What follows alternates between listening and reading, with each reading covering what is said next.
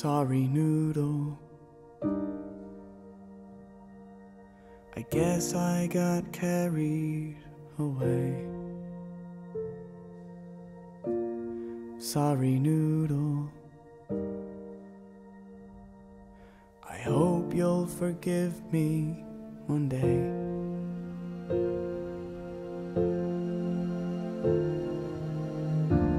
I just wanted it to feel the way that it did when I was a kid.